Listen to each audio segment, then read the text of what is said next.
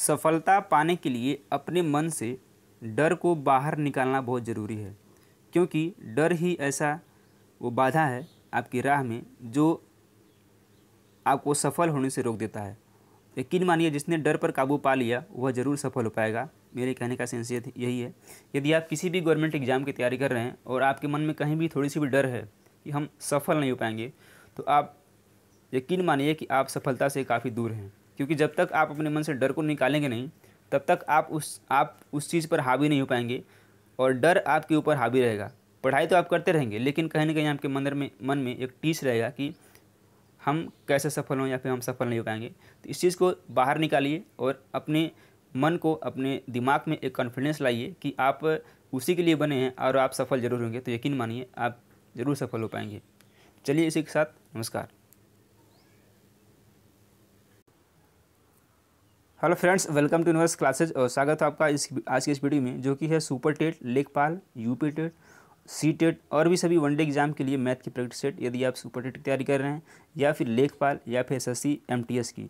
तो यह सेशन आपके लिए इंपॉर्टेंट होने वाला है, क्योंकि इसमें हमने वही लगभग पैटर्न रखा है, जो कि super TET Lekhpal UP TET में आते हैं। तो आइए बात करते हैं आज के इस महत्वपूर्ण सेशन की। यह सेशन रोज़ शाम को सात बजे होता है तो विज़िट करना ना भूलें।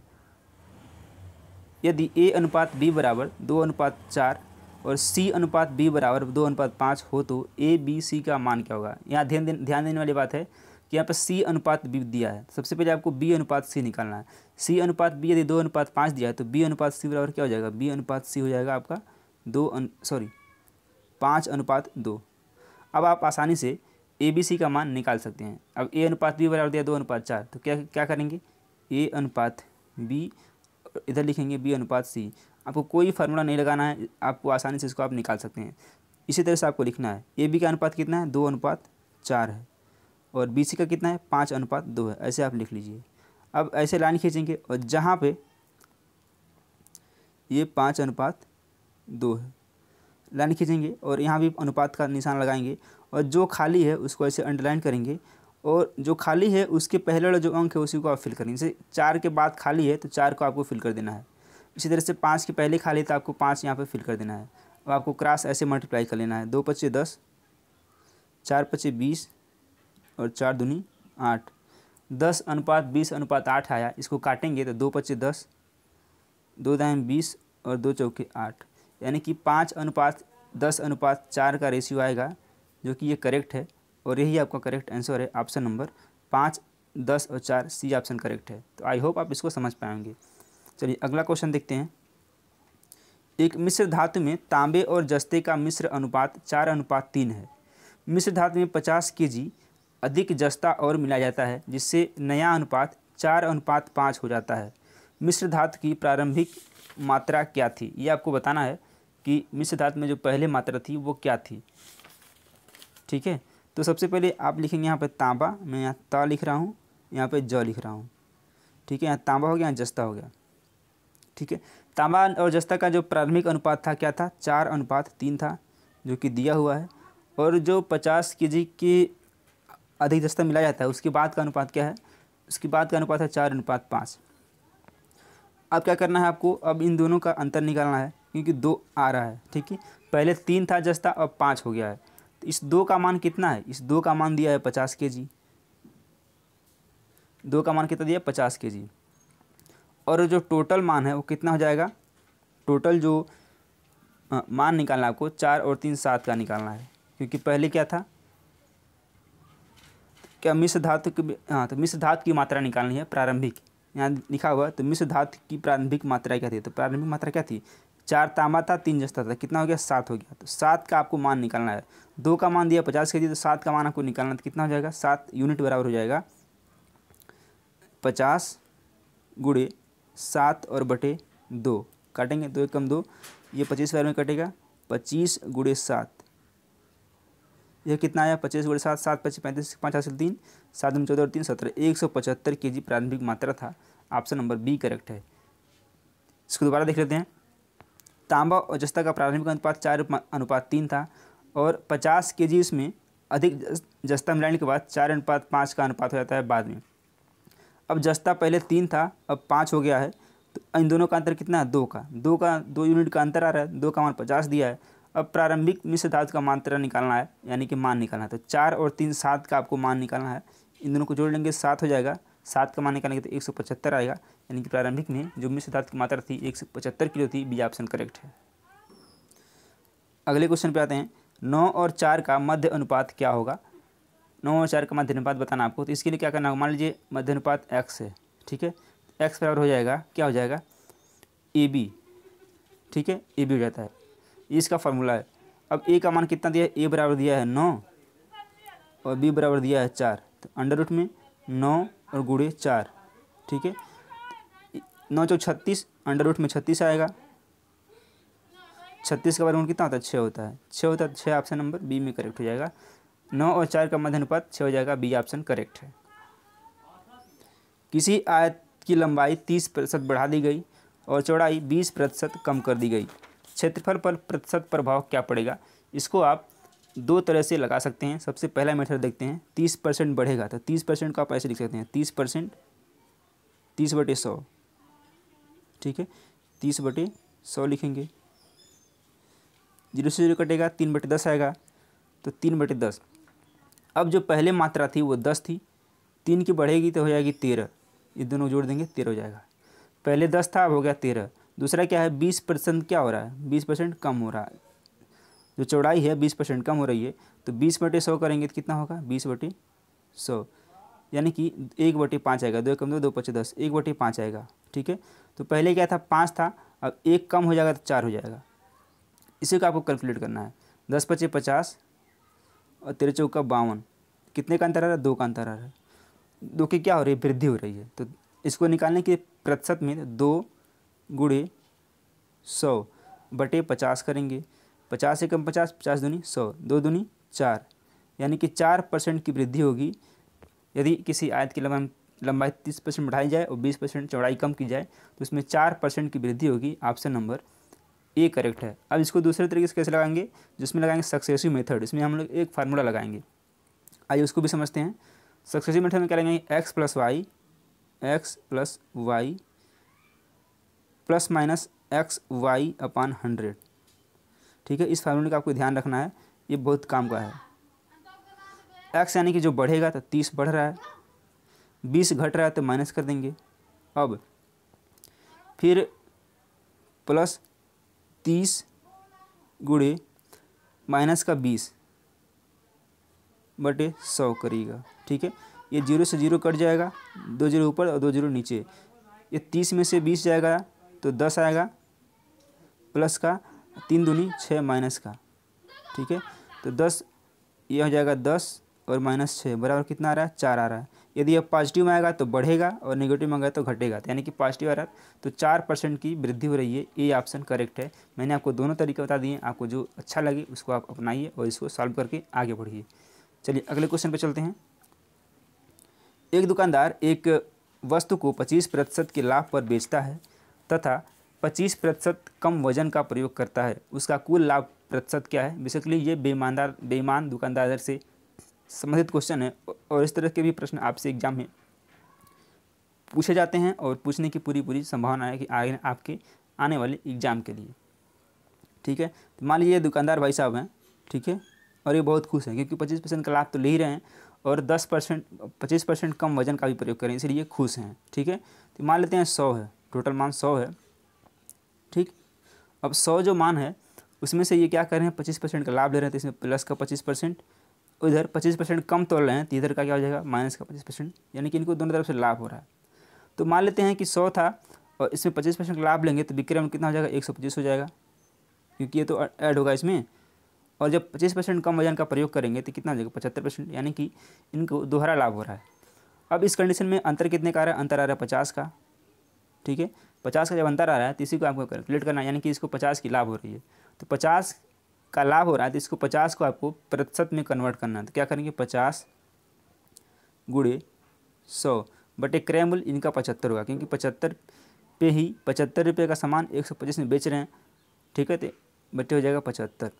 इसको काटिएगा तो पच्चीस दूनी पचास, पच्चीस दिया पचहत्तर। सौ दुना दो सौ बटे तीन। दो सौ बटे तीन, क्या आ जाएगा? छाछठ सही दो बटे तीन प्रतिशत का लाभ होगा। B option A option correct हो जाएगा। तो हम उम्मीद करते हैं कि आपको ये सेशन पसंद आएगा। सेशन पसंद आए तो वीडियो को लाइक करें और चैनल को सब्सक्राइब करें। और एक ज़रूरी बात, यदि आप पीआरटी यानी कि सुपर टेट की तैयारी कर रहे हैं और बीएड किए हुए हैं तो आप बिल्कुल भी अपने आप को मतलब जो है निराश मत करिए और इतनी आसानी से बी बाहर होने वाला नहीं है। ठीक है? जो भी हैं तो इस पर हम एक कंप्लीट वीडियो बनाएँगे और वैकेंसी तो आएगी। जैसे ही ये ख़त्म होता है तो वैकेंसी ज़रूर आएगी। तो पढ़ाई करते रहिए। धन्यवाद। एक खरगोश छः जंप पूरा कूदता है। तब तक कुत्ता चार जंप लगाता है। खरगोश एक कूद में पाँच मीटर की दूरी तय करता है, लेकिन कुत्ता एक कूद में आठ मीटर की दूरी तय करता है। एक खरगोश है और एक कुत्ता है। खरगोश जो है छः जंप लगाता है, मैंने छः बार ऐसे कूदता है और कुत्ता जो है चार बार कूदता है। खरगोश क्या करता है कि पाँच मीटर की दूरी तय करता है, लेकिन कुत्ता तब तक आठ मीटर दूरी तय कर लेता है। यानी कि खरगोश यदि छः बार कूदेगा तो वह पाँच मीटर दूरी तय करेगा। लेकिन कुत्ता जब चार ही बार कूदता है तो वह आठ मीटर की दूरी तय कर लेता है।